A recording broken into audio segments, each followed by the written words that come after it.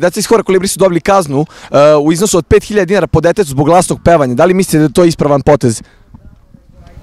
Nemam pojma, mislim da nije, ne znam. Pa gdje je ispravan potez e, kad uzima pare neko je? Znači, ako va- vas pitamo, kažete ne treba deci uzimati pare.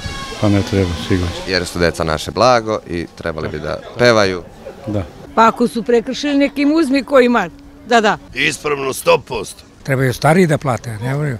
Stariji su teže prekšle pa prave pa ne plate. Ne znam ti ništa, nisam upućen, ali stvarno za 5000 je. Mi pevamo svaki dan, ne plaćamo ni popu kad sveti vodicu. Bre. koji to manijak može da, da kazni decu zato što pre, preglasno pevaju. Oni stvarno su sinhronizovani što se tiče pesme i, i, i glasova i svega. Kako vi komentarišete poteze da je Hor Kolibri, deči Hor Kolibri, dobio kaznu od 5000 dinara ovo je zbog narušavanja javnog reda i mira?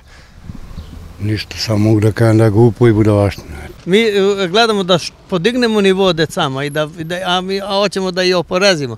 Znači, a rodilo se, ajde da ga oporezimo. Dobro, ali nisi ti u dečijem Horu Kolibri ili jesi možda? Ma nisam, ako bi volio da budem. Jel? Da, šta bi tamo pevao? Bio bi tenor recimo. Iš, ma onaj bre, najveći glas, onaj...